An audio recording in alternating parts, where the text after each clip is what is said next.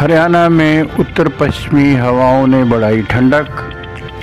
रात में पाँच डिग्री गिरा तापमान। उनतीस से छाएँगे बादल। बारिश के साथ ओले गिरने की संभावना। ऐसा समाचार अभी अभी दैनिक भास्कर से हमको मिला है। आइए देखते हैं डिटेल में कैसा रहेगा आने वाला मौसम। हरियाणा में एक बार फिर से मौसम में बदलाव शुरू हो गया है। इसके कारण तापमान में उतार चढ़ाव देखने को मिल रहा है। कुछ जिलों में अचानक से बादलवाही के साथ हल्की बूंदाबांदी देखने को मिली, जिससे तापमान में पाँच डिग्री की गिरावट दर्ज की गई। मौसम विशेषज्ञों का कहना है कि उनतीस फरवरी से मध्यम श्रेणी का पश्चिमी विक्षोभ, वेस्टर्न डिस्टर्बेंस जो है, वो सक्रिय होगा, जिससे उत्तर पर्वतीय क्षेत्रों पर बर्फबारी तथा मैदानी राज्यों में मौसम करवट ले सकता है। हरियाणा के एनसीआर में एक से तीन मार्च के दौरान हल्की बारिश, बूंदाबांदी होने के आसार हैं। इस दौरान 30 से 40 किलोमीटर स्पीड से हवाएँ चलेंगी और कुछ जगह गर्जन के साथ ओलावृष्टि की भी संभावना दैनिक भास्कर ने आज जताई है।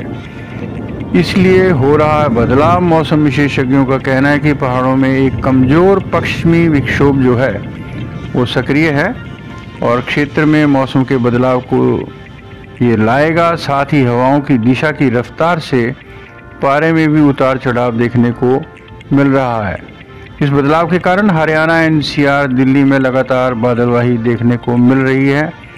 मौसम विशेषज्ञों का कहना है कि ऐसे मौसम में लोगों को अधिक सावधानी बरतने की ज़रूरत है।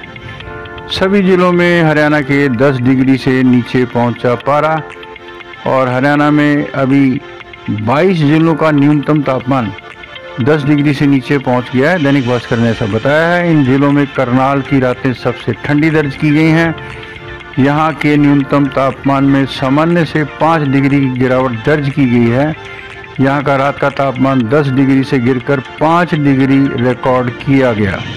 इसके अलावा गुरुग्राम और पानीपत का छः दशमलव चार, हिसार का छः दशमलव छः महेंद्रगढ़ का छः दशमलव नौ और पंचकूला में सात दशमलव एक डिग्री न्यूनतम पारा रिकॉर्ड किया गया। और भी कोई नई जानकारी हमको मिलेगी तो हम आपके साथ साझा करेंगे। फ़िलहाल क्योंकि उनतीस तारीख के आसपास बादल और बारिश आने की संभावना है या उसके बाद तो किसान भाई अपना काम खेतों में कर सकते हैं। सबको ढेर सारी शुभकामनाएँ। नमस्कार।